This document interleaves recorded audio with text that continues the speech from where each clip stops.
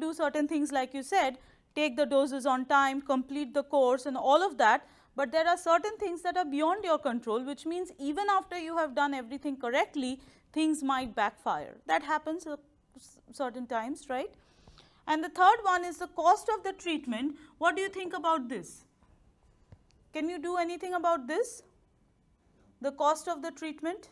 If I told you that you cannot buy insurance, then can you do something to reduce the cost of the treatment or to protect yourself against very high costly treatment? With whom? Negotiate with whom?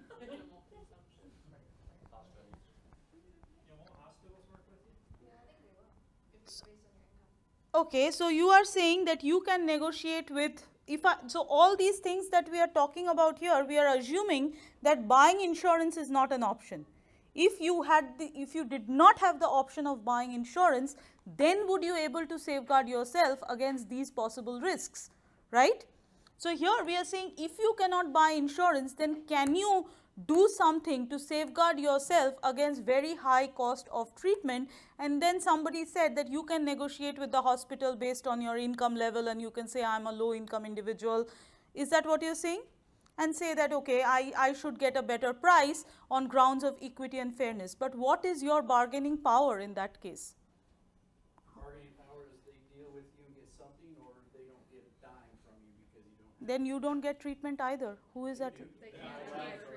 Huh? They cannot deny treatment if you go to emergency room. In ER, but let us say I am just going to a doctor, a doctor's visit. Here I, I did not make any assumptions like ER or anything of that sort, right? But if you're truly sick, Mhm. like government has already installed, has laws where medical facilities, it's illegal to turn them away. Anywhere? Yes, dumping is illegal. It used to be legal like in the eighties and seventies, no longer illegal. But what I am trying to say is, okay, you have a disease condition, okay? Let us say you have cancer, okay? So, you go to a doctor, you get some amount of treatment, you get the, you get treated for, you know, your emergency stuff or whatever. But you need follow up for cancer, for a disease condition like cancer, you need follow up. If you are not paying a penny out of your pocket and you do not have any health insurance, is it by law that you have to receive treatment throughout? I think so, I mean, it depends on what you're getting treatment for. Then if, if that is true, I have a doubt about, well, I have a doubt about that. The reason being if that would have been true, then there would be no incentive for people to buy insurance. If I know that no matter what condition I am in, no matter what disease I am in and no matter how long I suffer, so let us say I am I have a disease and I need treatment for the next 20 years of my life, let us say. It may happen to someone, I may have a disease which needs treatment for next 20 years of my life or it may need treatment for as long as I live. If I know that it is illegal for any healthcare provider to turn me away irrespective of how costly the treatment is, then there would be no need for health insurance at all. Think about that. So you're saying like, so you're saying like if someone has diabetes and it needs to be managed over twenty years, you're not gonna be able to get, just because you don't have insurance, I mean, they're not required to treat you with giving medication. Exactly. What I am saying is, so I am not saying that let us say, okay, let us say a person goes into labor, okay, a person is want, going to have a baby and the person goes into labor and does not have the money or the means to pay for hospital and ends up in emergency labor room. In that case, what you are saying is true, that person cannot be turned away. That person will be given the assistance for delivery, will be given you know whatever uh, uh, gynecological care and initial pediatric care and all of that will be provided.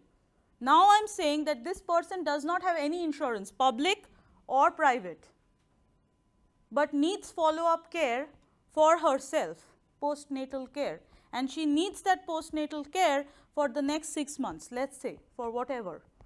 Is she going to get treated irrespective what is the cost of her treatment? I do not think so. Yeah, like so we are ruling out those emergency. I don't think that is true because if that would have been true, then there would be no need for insurance. Think about that. All of us would, uh, uh, because remember, we are all rational individuals. If I know that no matter what I'm suffering from and no matter what is the cost of the treatment, as long as I end up going to a doctor, that doctor is legally bound to treat me, why would I buy insurance? So, the cost of the treatment coming back to this point, if the cost of the treatment is super high, then you really do not have any other method to insulate yourself or protect yourself except buying health insurance or having somebody else share that part of the risk either partly or fully right. So, that means this is the risk, this is where health insurance plays a major role.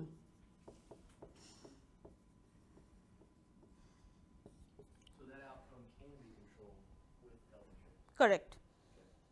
Your cost of treatment, you can insulate yourself against high cost of treatment if you buy health insurance and depending on the conditions or the terms of your health insurance, you may be fully covered or you may be partially covered for your whatever you know treatment you are undergoing big or small whatever be the cost of the treatment okay? And it would depend on the terms of the uh, terms of the health insurance.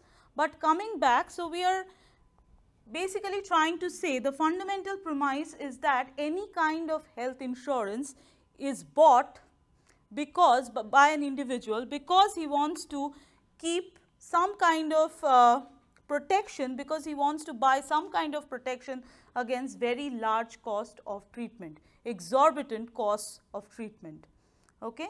Is that clear? So, that means what is an individual trying to do? An individual is trying to share.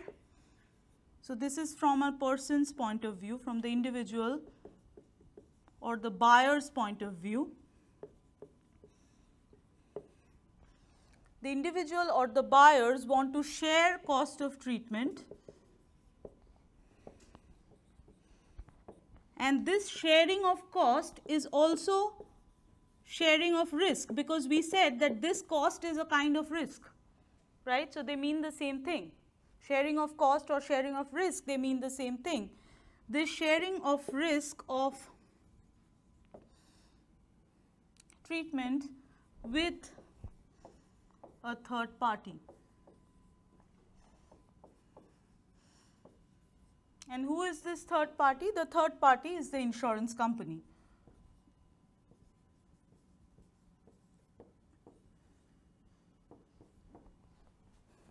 Right? So, that means now we have if we think about this setup this health insurance. So, we started with saying health insurance now if we consider health insurance to be a commodity that is bought and sold in the market that means if you are specifically talking about the market for health insurance then the buyers want to buy health insurance because they want to share the cost or they want to share the risk of high medical costs right.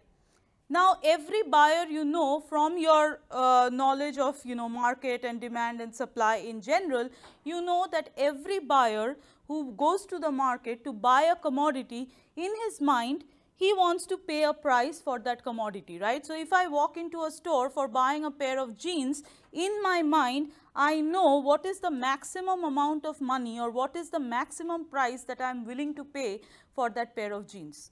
Now, when I go to the store, the price sticker on the jeans, on the pair of jeans that may be lower than my willingness to pay, it may be higher than my willingness to pay or it may be equal to my willingness to pay, correct?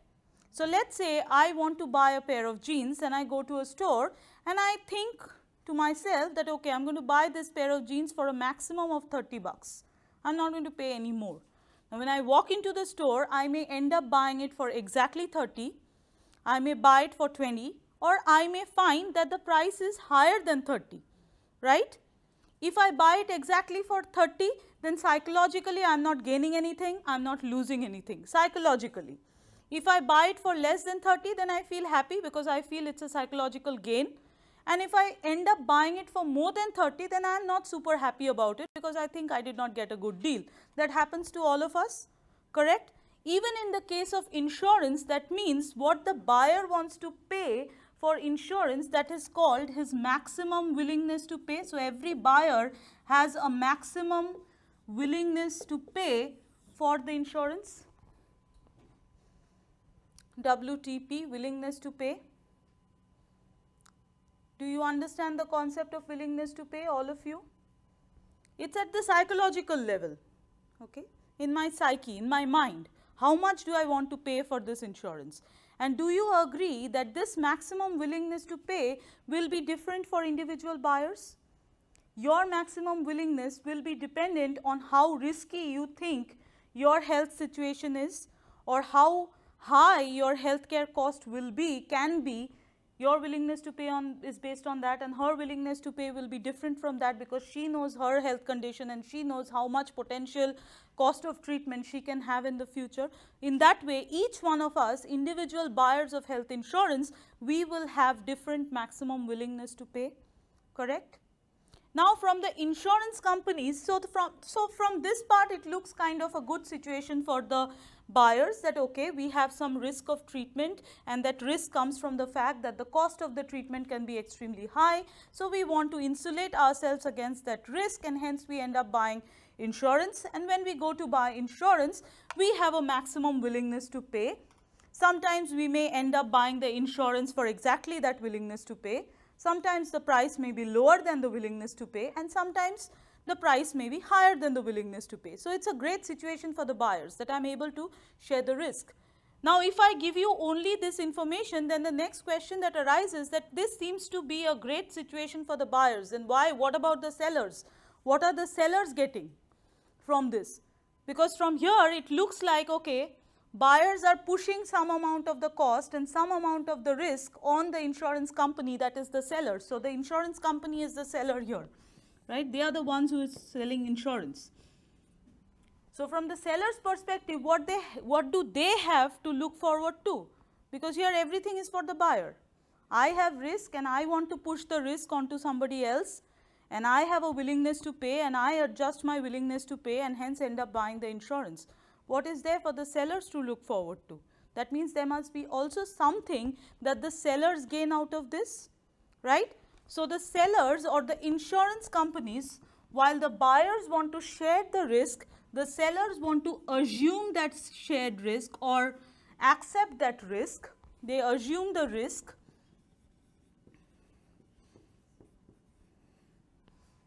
and they have a minimum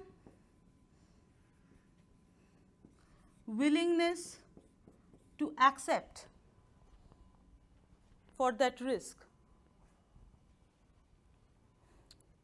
So, once again just like the seller of a pair of jeans, you want to buy it for $20, but the seller knows in his mind the store that you walk into, they know that how much they are willing to sell that for.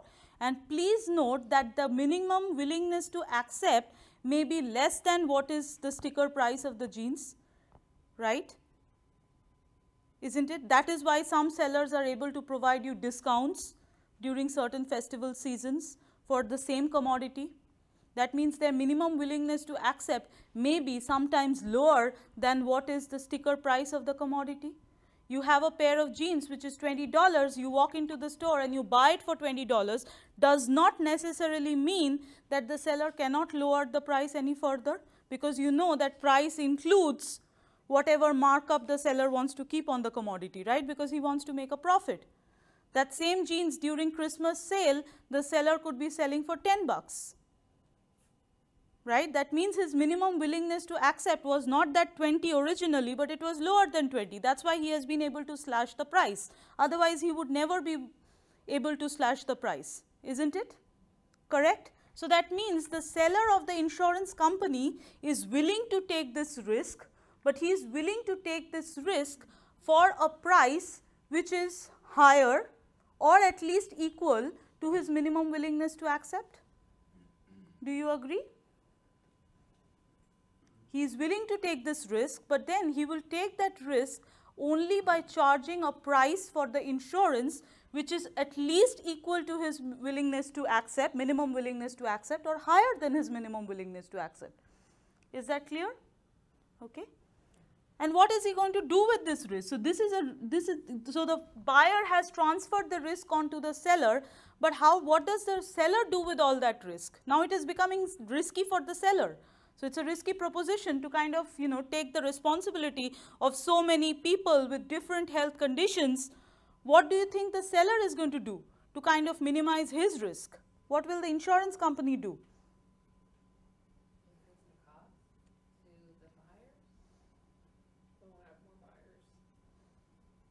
So they, so while these people are going to share the risk, these people are going to pool the risk, risk pooling.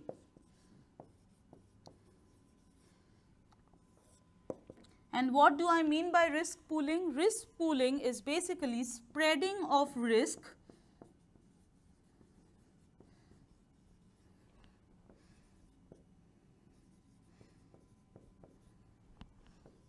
across a large pool of individuals.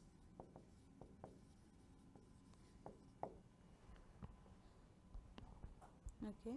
So, they are going to manage the risk that they have taken up by spreading that risk across a large group of individuals. So, they are going to bunch people by certain categories and those categories could be by disease conditions or the, the category could be by age or the category could be by gender and they are going to price these different categories differently, right. For example, you know in case of life insurance, usually if you go to buy a life insurance, usually the males have a higher price of insurance than the females. For females, the price is lower, but the males it is higher. So, that means the insurance company thinks that the males in terms of you know their life, the males are riskier and why do you think they think in that way? Because you know in United States the life expectancy of the males are lower. So, that means the insurance company thinks that the males are have a higher probability of dying early. So, if you are selling insurance to them for their life, it is worthy to sell them at a higher price than the females. But is it true that all males that they sell the insurance to are going to die before females? Is it true that all men die before their wives or partners, female partners? That is not true, right? But it is a general perception of the insurance company based on certain empirical facts that is the life expectancy of the males in United States in general is lower and hence they expect that men will die earlier and so they think that we should charge a higher price for the males. But when you have that large pool of males, some people will die early, some people will live long and die late. So, what is happening? The risk is getting spread out among this large group of male individuals. Similarly, for health insurance, people think that okay, if you age as you get older, then you know you become sicker and you are more likely to fall, fall sick and use health care and your treatment costs are going to be higher, correct. So, insurance companies, health insurance companies would usually charge a higher price to the elderly people than the younger people. If you go to buy health insurance, your premium is likely to be less than a person who is older than you. That is how they price it. But is it true that all elderly people will have high healthcare costs? It is not true, right? It may or may not be true. There might be a lot of elderly individuals who do not have significantly high healthcare costs, while there may be a lot of younger individuals who have consistent healthcare costs, consistently high healthcare costs. So, what are they doing? They are pooling the individuals based on some empirical fact but then they are trying to spread that risk over the large pool of individuals or in other words what I am trying to say is that in that pool of individuals who are similar in certain characteristics and that similarity could be in age, similarity could be in gender, similarity could be on the basis of a health condition, some of the individuals would be high risk individuals and some of the individuals would be low risk individuals and some individuals would be moderate risk individuals. But if the insurance company is making all those individuals pay the same price, then they are basically spreading the risk across that pool. Is that clear? Do you understand what I am trying to say? So, that is the gain or that is what the insurance companies are trying to capitalize. That is the source of profit or that is the incentive for the insurance companies to sell health insurance. Had this been not there, had the prospect of risk pooling not been there, then it would not make sense for any insurance company to sell insurance because then it would only be a bright situation for the buyers. There is nothing to look forward to for the sellers, correct? Okay, is that clear? Any questions? Are we all on the same page? Okay. So, that means now you have the buyers that is the individuals who want to share the risk and there is sellers, the insurance companies who are pooling the risk. Now, only when there is an agreement or equality between this maximum willingness to pay and that minimum willingness to accept that is when the transaction takes place or the buying and the selling of insurance take place right. So, the individuals may th must think the buyers must think that okay whatever is my willingness to pay this matches with the insurance company's willingness to accept and hence they decide on a certain market price correct and end up buying and selling the insurance. Okay.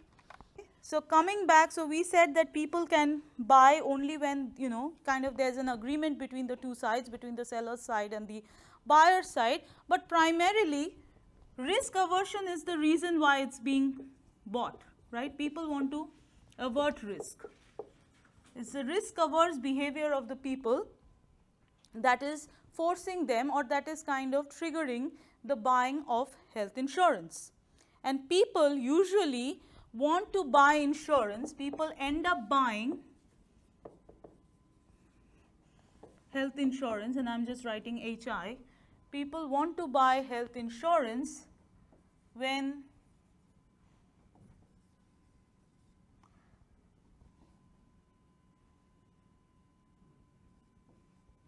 there is possibility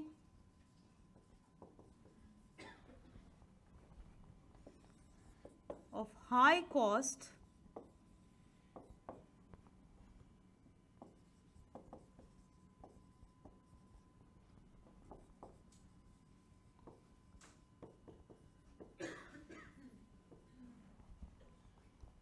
Okay. So, what am I trying to say? I am saying that it is people want to avert risk. Now, this risk we said is the cost of the treatment and the cost of the treatment could be high or it could be low, right. But usually a high cost of treatment happens with a very low probability. That means, what am I trying to say? I am saying, okay, fine, you have in your, in during the course of your life or let us say you consider 10 years of your life, the next 10 years of your life, what is the probability that you will spend $20 on your health? Very high, right? In the next 10 years of your life, the probability that you will spend at least $20 every year on your health is super high. You go for some, you know, vaccination, you will end up spending more. You go for some dental cleaning, your out of pocket will be more than $20. So, the probability of a low cost treatment is going to be extremely high. But what is the probability that you are going to have a medical bill of $1000 in the next 10 years? $100,000, not 1000, sorry, $100,000, it's low. It's not 0, but it is tending towards 0 for many of us, correct? So, so always when the cost of the treatment is high, that cost of treatment being high happens with a low probability in the life of most individuals. But the cost of treatment being low happens with a very high probability in the life of most individuals. So, there is an inverse relationship between the cost of the treatment and the probability of causation. Can you please write that down? There is an inverse relationship there is an inverse relationship between cost of treatment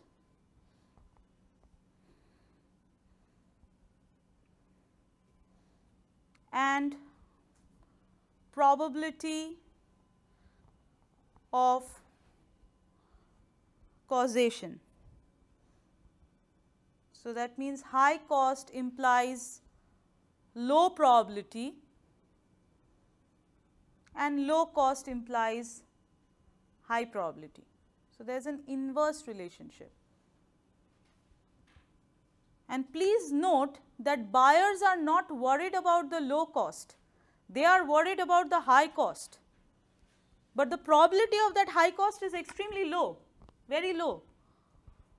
So, that means people do not care how rare that event may be in their life, but what they care about is how much is likely to go out of their pocket even if that adverse event happens with very insignificantly low probability. Do you see what I am trying to say?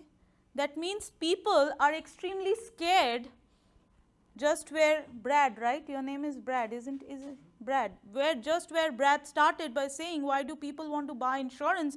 Because they want to minimize their out of pocket payment. They want to pay less. So that means this cost, the actual dollars, that is a much bigger thing, it's a bigger factor for all individuals, all buyers than whatever probability is attached to that event.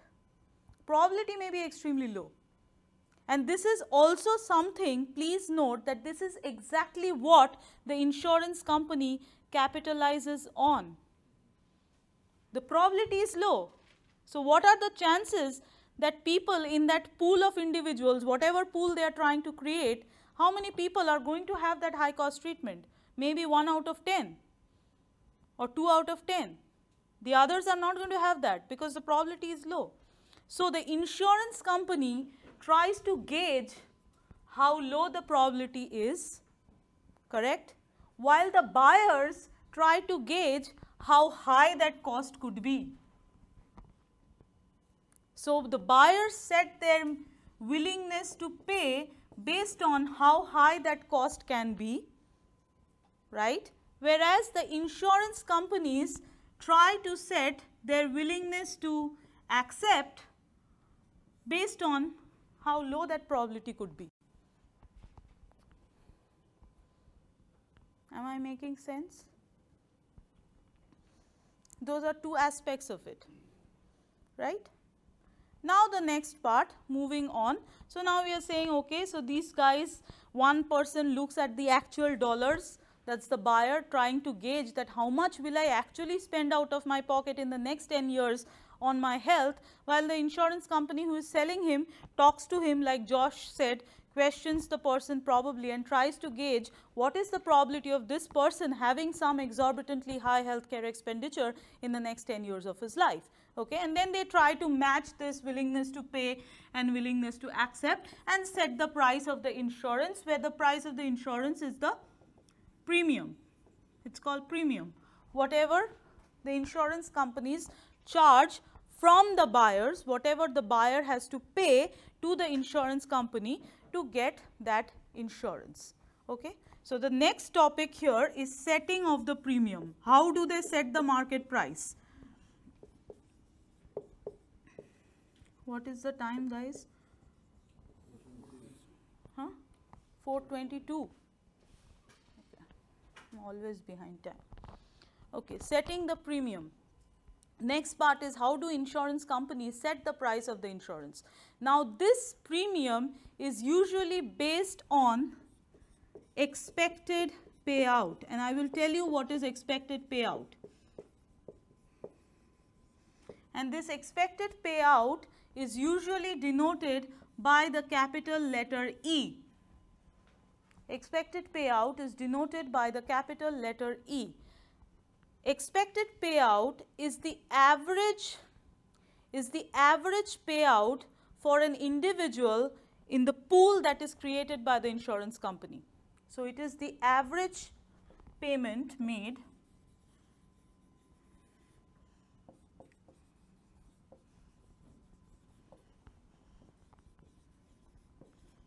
made by the insurance company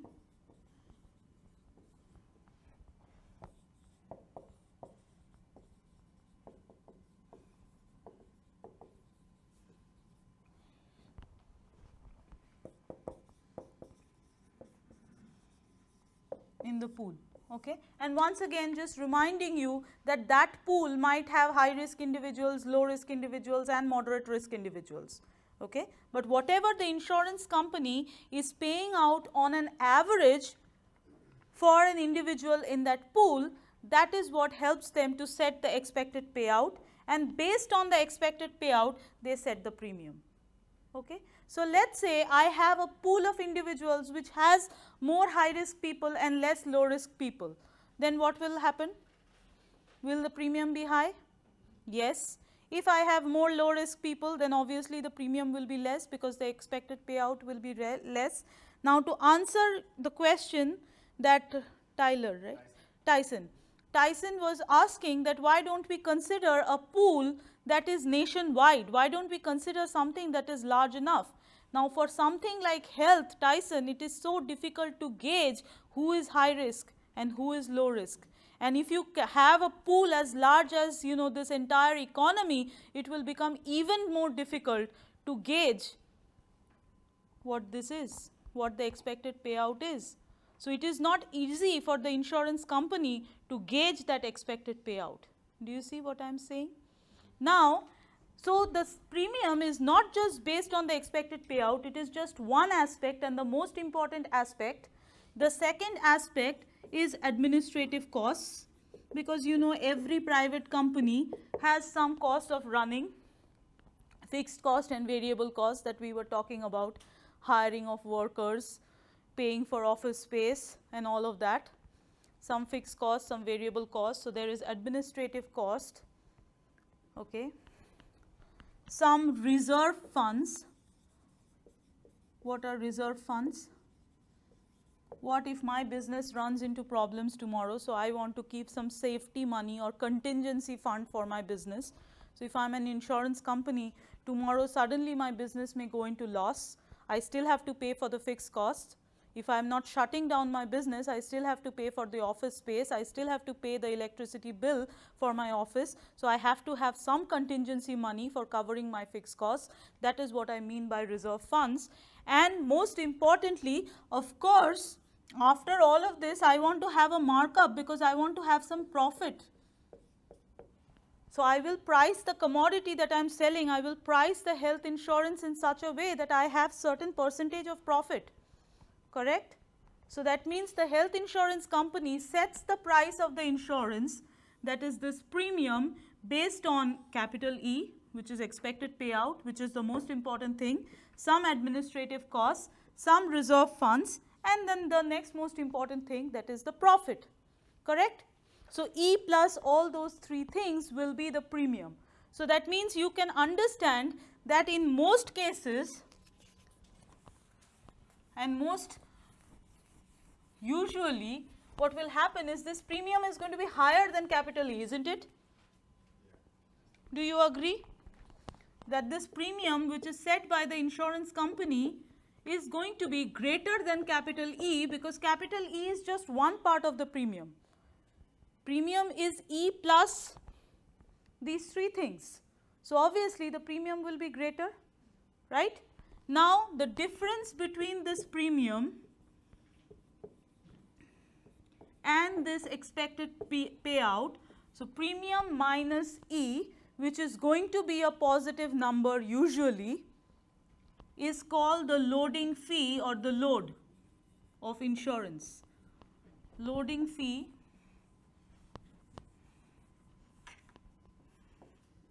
or load.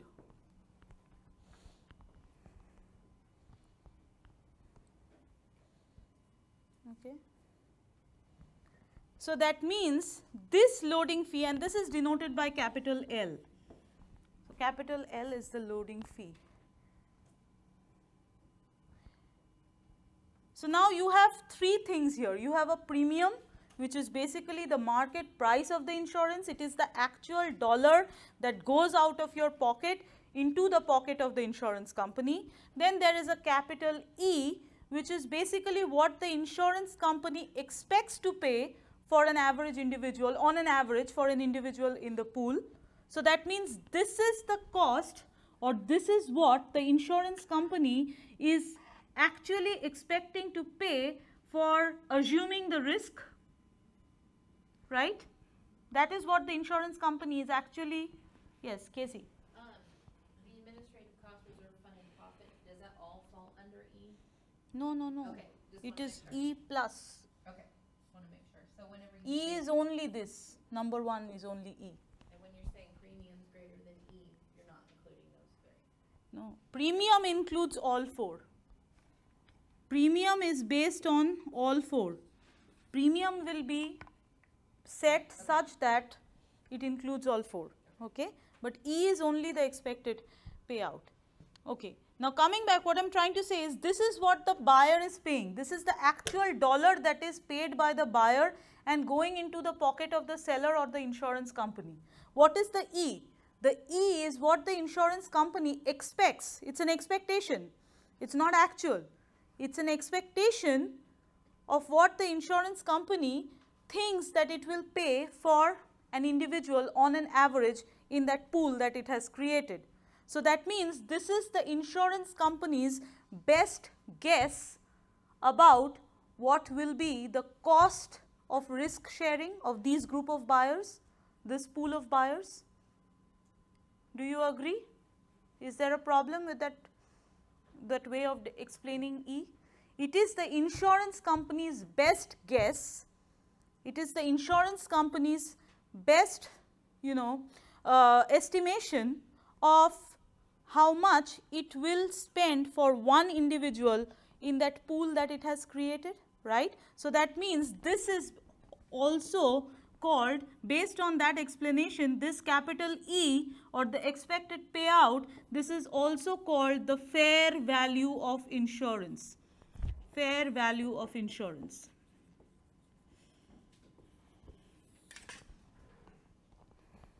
And why is it called the fair value? It's called the fair value because see the buyer wanted to transfer only that risk, right? And the insurance company wants to assume that risk. And this E is nothing but the cost of that risk sharing and that risk assuming by the insurance company. All these things have nothing to do with the risk, right? That's just operation cost and that's profit motive of the company. That has got to do with his business side. It has got nothing to do with the risk side. Do you see what I'm saying? The profit, the reserve fund and the administrative costs, those are operational costs and those are true for any business. It is not just for an insurance company. If I am selling ice creams, I have administrative cost, I have reserve funds and I will want to make profit. But the only thing that sells, sets an insurance seller apart from any other business is what is the price that he wants to charge or what part of the price is he charging for taking over that risk. And it is this price. And it is exactly this part that the buyer wants to transfer onto him, that is the risk part. Okay?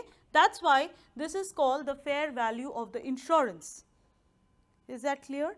So that means the difference between these two, the premium and the fair value, that means which is basically number 2, 3 and 4, that should be the difference. That is actually the price of the insurance. So E is basically the price of the risk and the price of the commodity actually is that loading fee. Do you see what I am trying to say? This might get a little confusing. Okay. Now, the expected payout is only the part which is based on the estimation or the assessment of the risk by the individual, uh, by the insurance company for an individual in the group that it has created, in the pool that it has created. Okay. So, it is basically the price that is attached to the risk, the same risk that you want to share and the same risk that the insurance company wants to assume. Okay. So, that is the fair value of the insurance. The difference between these two that means are the operational costs which is the profit, the reserve funds and you know the administrative costs and we are calling that the loading fee. So, that means loading fee is basically 2, 3 and 4 and that 2, 3 and 4 is actually the price of the commodity. The price of the commodity after excluding the price of the risk. Do you see what I am saying? Yes? Okay. Now, usually that loading fee is expressed as a percentage and you will not have any numerical problems for calculating the loading fee, but just giving you the formula that usually the loading fee, you have to understand the concept, for you that is just enough. But usually this loading fee is calculated by premium divided by the expected payout or the fair value minus 1 times 100. So, it is expressed as a percentage.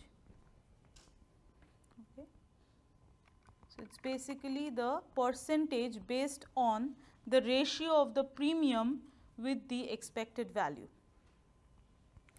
And you do not have to think too much about that formula because you will not have any numbers or you will not have any uh, numerical problems to do on that.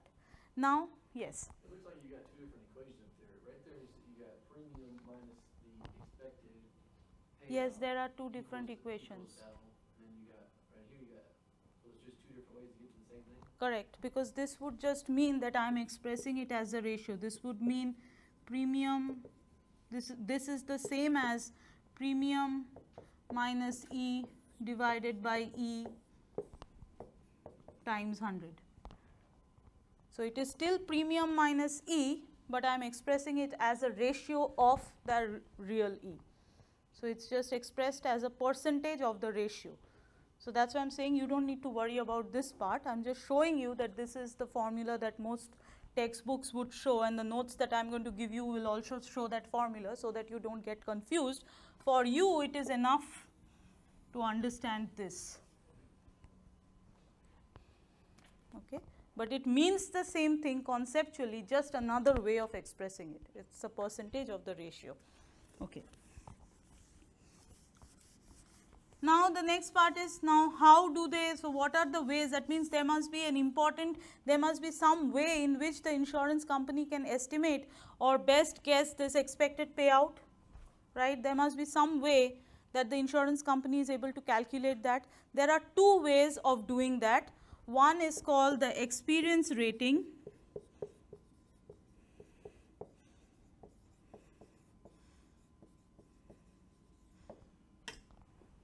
and the other one is called community rating.